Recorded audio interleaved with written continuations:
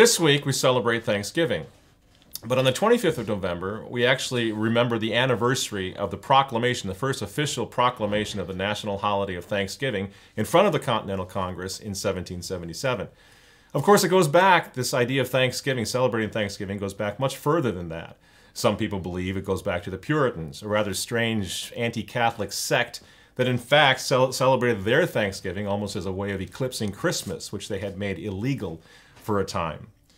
In, per, in, actuality, the first Thanksgiving goes back to 1565 in St. Augustine, Florida, when the Spaniards had, in order to celebrate their Thanksgiving with 800 Spanish settlers and many, many Indians, actually celebrated a traditional Latin Mass followed by a great feast that is, if you uh, want to find the origins, the earliest origins of Thanksgiving in North America, this event in St. Augustine, Florida, is the first Thanksgiving. Menendez christened the new settlement San Agustin, or St. Augustine. It was September 8th, 1565. Traditionally, the Spanish representative, of the king, would go to the flag, plant the flag in the, in the ground, and proclaim the land in the name of the king. He, however, went over to Father Lopez and knelt down and kissed the cross. So he proclaimed the land in nombre de Dios, in the name of God, before the name of his king. And uh, Lopez observed the natives imitated all they saw done. Now, there is a picture for you.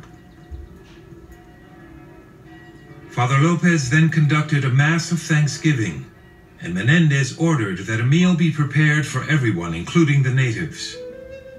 This was 55 years before the pilgrims even arrived in Plymouth. A few years ago, Dr. Michael Gannon drew fire when he called this meal the true first Thanksgiving. But leaving aside the controversy over Catholic versus Protestant origins of Thanksgiving, I think it's interesting to take a look at the actual language that was crafted by Samuel Adams, of all people, while the British still occupy the capital of Philadelphia, for example, uh, of this proclamation of Thanksgiving. Again, this is Samuel Adams. This was ratified by the Continental Congress. This became the law of the land with respect to Thanksgiving.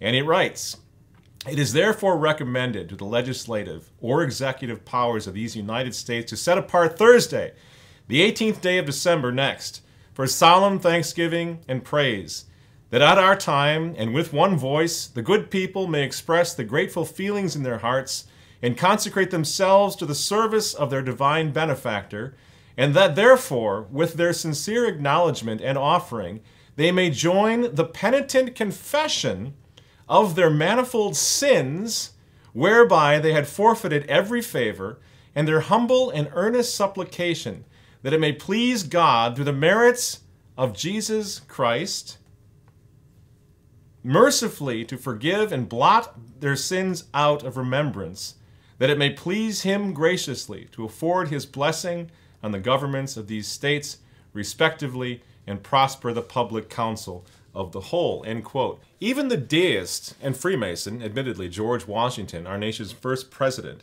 demonstrates more Christianity and more appreciation for the need of nations to acknowledge God than most Catholics in the Catholic Church today in America. He writes, Whereas it is the duty of all nations to acknowledge the providence of Almighty God, to obey His will, and to be grateful for His benefits, and humbly to implore His protection and favor, and whereas both houses of Congress have, by their joint committee, requested me to recommend to the people of the United States a day of public thanksgiving and prayer to be acknowledged. End quote. President Barack Obama on November 19th had a dramatic reading of the Gettysburg Address of Abraham Lincoln. In the course of that dramatic address, at the end, reference was made to Almighty God by Abraham Lincoln. But that was too much for Barack Obama. He edited the Gettysburg Address and left out the words under God in his national broadcast of the Gettysburg Address. So, whereas in 1777, Samuel Adams, George Washington were actually still referencing Jesus Christ and penitent and sins of the nation. Barack Obama, our president in 2013, will not even mention the word God anymore. This is how far we've drifted. So we here at the Remnant Underground are going to celebrate Thanksgiving. It's a wonderful feast. There are great Catholic roots to this feast. There's even a Protestant root that's sort of worth considering and interesting for our point of, from our point of view. Especially in this idea of, of linking Thanksgiving to Almighty God to penitence and to the sins of our nation and to all of our sins.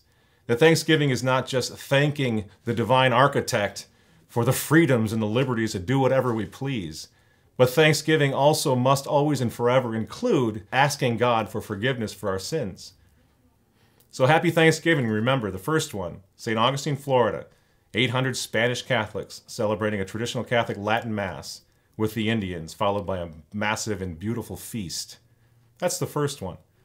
And the national promulgation of Thanksgiving as a national holiday included reference to Jesus Christ and the need to ask for forgiveness. On that note, happy Thanksgiving, and we'll see you next week.